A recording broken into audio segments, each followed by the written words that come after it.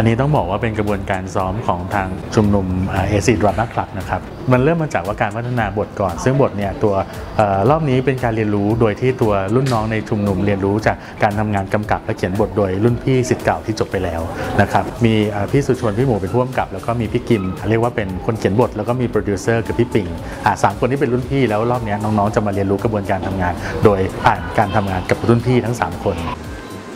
แต่เราเพิ่งแต่งงานกันนะจ๊ะพี่ พี่เป็นถึงแม่ทัพอาญาสิต้องไปรบกับพวกเชียงอินแล้วพี่จะรีบกลับมานะพี่กระบวนการกำกับก็คืออมีการเริ่มต้นด้วยการ เขียนบท ซึ่งเป็นโจทย์ของคราวนี้คือเรื่องของวันสุนทรภู่ก็เลยเอางานบางส่วนที่สุนทรภู่ได้เขียนไว้เอามาพัฒนาเป็นละครโดยโจทย์ก็คือเรื่องวันทอง ทีนี้ว่าจะมองในมุมมองของผู้หญิงว่าเอ๊ะเกิดอะไรขึ้นกับผู้หญิงคนนี้ที่อยู่ในวรรณคดี ทีนี้ตัว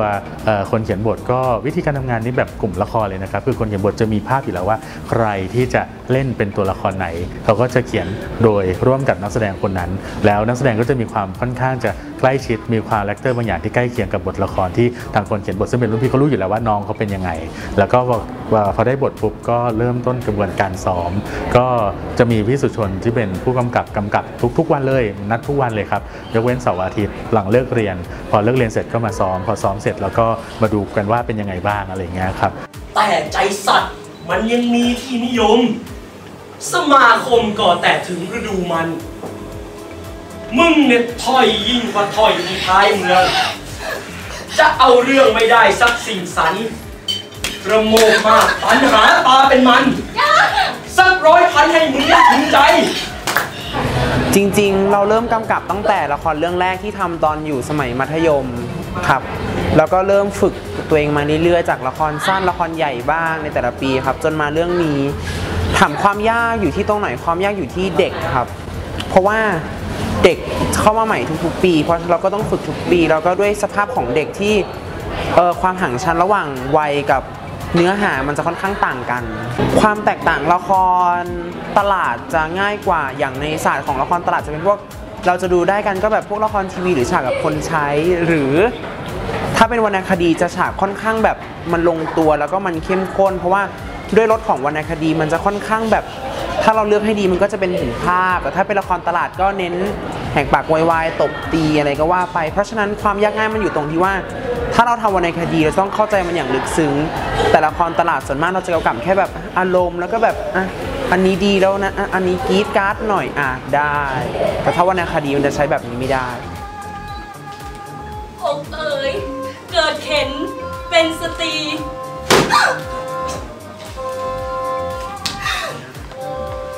อที่ จะเป็นสุข ไม่สุขได้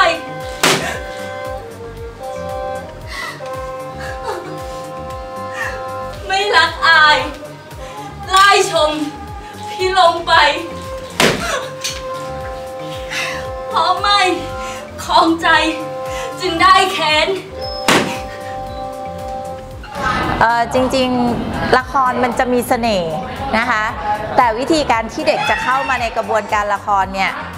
มันลำบากหลายคนที่ไม่รู้จักไม่รู้จักว่าเข้ามาแล้วมันจะทำอะไรบ้างในละครอะไรเงี้ยเขาจะรู้สึกว่าน่ากลัว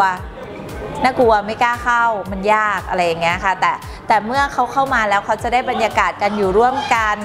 การยอมรับต่างๆนะคะ ค่อนข้างที่จะ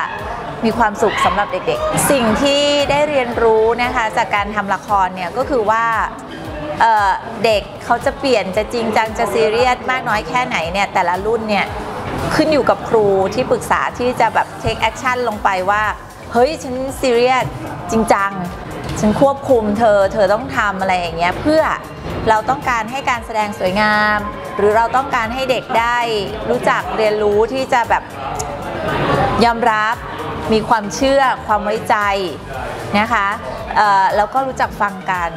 กล้าแสดงความคิดเห็น อันเนี้ยเป็นพื้นที่ที่เด็กได้อยู่ร่วมกันได้ดีมาก เอาละวันนี้ข้าจะสะสางคดีความทุกอย่างให้เสร็จสิ้นเสียทีอ้าวแล้วไหนล่ะไอตัวปัญหาฮะอยู่วันทอง ขอเดชะใต้ฝ่าระวังพรีพระบาทอืมไหนๆวันนี้ก็มากันพร้อมหน้าแล้ว ทั้งไอ้ขุนช้างแผน ไอ้ไว้ แล้วก็แม่เจ้าด้วยเอาไหนลองไล่เรียงเรื่องราวให้ข้าฟังสิอ๋อ เป็นพระพันภาษา เป็นเหมือนกษัตริย์ของเมืองเมืองหนึ่งก็รู้สึกได้รับบทเป็นที่ที่ในชีวิตในชีวิตจริงคงไม่ได้รับเป็นบทนี้ เพราะเป็นบทที่ต้องเป็นกษัตริย์ คงคงหาโอกาสยากที่จะได้เป็นกษัตริย์นะก็เลยค่อนข้างสำหรับสำหรับส่วนตัวคือยากนิดนึงครับ การที่เล่นยังไงให้คนดูรู้ว่าเป็นกษัตริย์จริงๆนะอืมคนดูได้รู้ว่าเราเราอยู่เหนือทุกสิ่งเราแบบเราทำได้ทุกอย่างนะในระหว่างการซ้อมก็มีปัญหาเยอะครับ มีปัญหาหลาย ๆ อย่างนะในเรื่องตัวบทเวลาของนักแสดงแล้วก็ อ้ยหลายอย่างเลยด้วยสภาพจิตใจของนักแสดงด้วย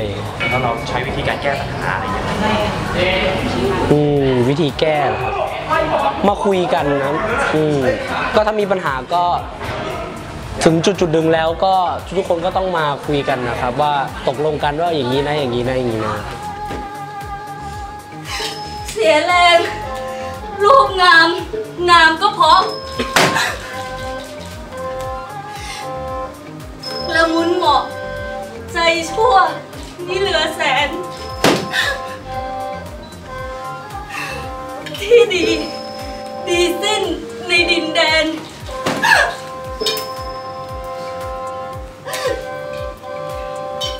ชั่วเล่าใคร จะแม้น ก็ไม่มี อ่าสำหรับ ที่โรงเรียนอัสสัมชัญเป็นเรื่องแรกค่ะ ที่ได้เล่นเพราะว่าเพิ่งจะเริ่มงานเมื่อเดือนที่แล้ว ก็คือรู้รู้สึกดีเพราะว่าละครเวทีเป็นสิ่งที่ที่อาจารย์ไม่เคยทำนะคะเพราะว่าที่อาจารย์เล่นก็คือจะเป็นละครนอกละครในแล้วก็ละครพันทางเลย ซึ่งจะเป็นละครที่เน้นการลำแต่ถ้าเป็นละครเวทีเนี่ยจะกลายเป็นละครพูด จะเน้นพูด และก็สื่อสารอารมณ์มากกว่า อาจารย์เคยเล่นกับคนรุ่นเดียวกัน แต่พอเราได้มาเล่นกับเด็กเนี่ยเราจะเห็นความคิด ความกล้าแสดงออกของเขาว่า เขามีความรู้สึกยังไง เขาก็จะแสดงออกมา ซึ่งจะสะท้อนให้เห็นเลยว่าเขาคิดอะไร เขาต้องการอะไรเขาจะทำอะไร ถ้าใช้เวลาซ้อมเนี่ยประมาณเกือบ 2 เดือน เพราะว่าอาจารย์จะต้องมีสอนด้วย แล้วก็คือเย็นก็จะมีการเวิร์กช็อปมีการ warm ก่อน แล้วก็ค่อยเข้าการซ้อมละครค่ะที่อาจารย์เรียนมาจะเป็นนาฏศิลป์ที่เป็นตัวละครพระ แต่เนี่ยอาจารย์มาเล่นเป็นนางวันทอง ซึ่งเป็นตัวนาง ซึ่งค่อนข้างจะมีการใช้อารมณ์ แล้วก็บทบาทในการสื่อสารค่อนข้างมากอะคะ ฮ้ยเดี๋ยววิ่งแข่งกันใครถึงตรงนั้นก่อนชนะ มาหนึ่งสองโอ๊ยโอ๊ยวิ่งเล่นสาขาอะไรเนี่ย ก็ไม่ดูทางเอง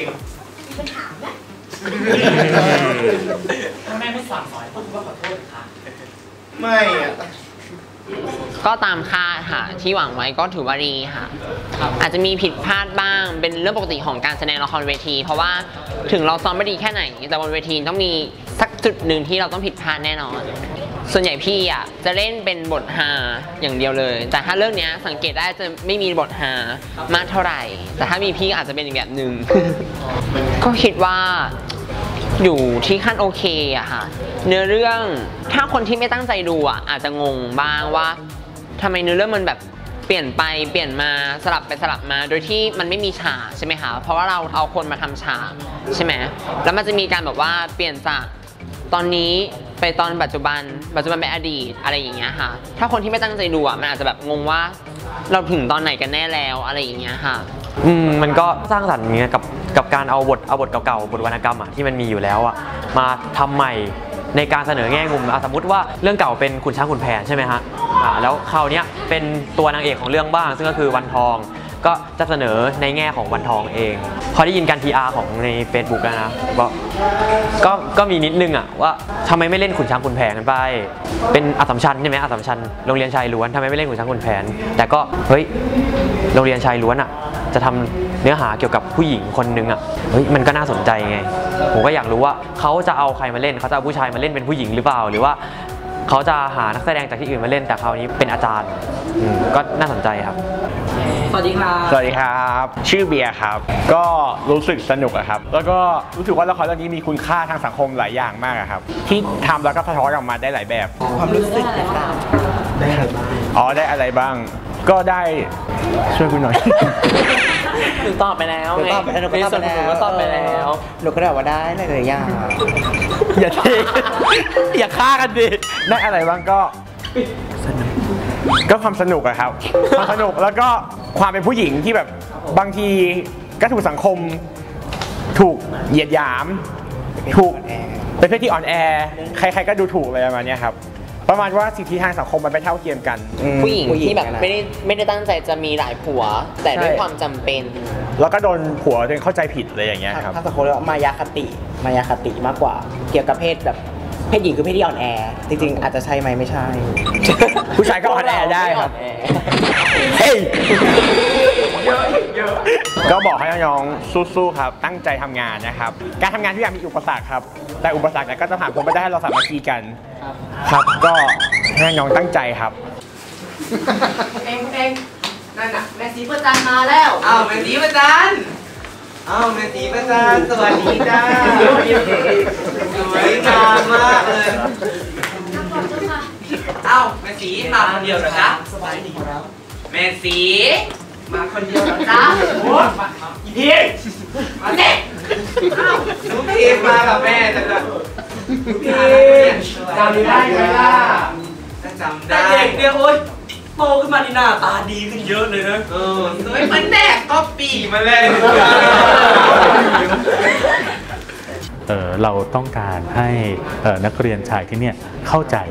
ความเป็นผู้หญิงเอ่อ ในวรรณคดี ซึ่งหลาย ๆ ครั้งผู้หญิงในวรรณคดีก็มีชีวิตจริงอยู่ในชีวิตประจำวันของผู้ชายทุกคน โดยเฉพาะนักเรียน ซึ่งยิ่งเป็นนักเรียนชายล้วนโอกาสที่จะเข้าใจความรู้สึกเข้าใจอารมณ์ที่อ่อนไหวเข้าใจเหตุผลหลาย ๆ อย่างที่ผู้หญิงตัดสินใจเนี่ยเป็นเรื่องยาก ดังนั้นการที่มีโอกาสได้ทำการแสดงที่เล่าเรื่องของผู้หญิง ให้เด็กนักเรียนชายล้วนดูเนี่ยโดยความเชื่อของทางเอซิดรามาคับก็คิดว่าเชื่อว่าทำให้นักเรียนเปิดโลก แล้วมองผู้หญิงอย่างเข้าใจ อันนี้คือจุดประสงค์สำคัญเลยครับ ก็คืออยากให้ทุกคนนะคะก็คือเป็นนักเรียนไม่ว่าจะเป็นนักเรียนหรือว่าเป็นบุคคลทั่วไป อยากให้หันมาสนใจนาฏศิลป์ไทยมากขึ้นนะคะเพราะว่าตอนนี้นาฏศิลป์ไทยค่อนข้างจะจะเริ่มมีความนิยมลดน้อยลง แล้วก็มีคนให้ความสำคัญน้อยลง อยากให้เห็นถึงคุณค่านะคะทั้งนาฏศิลป์ไทยดนตรีไทยแล้วทุกอย่างที่เป็นศิลปะประจำชาตินะคะ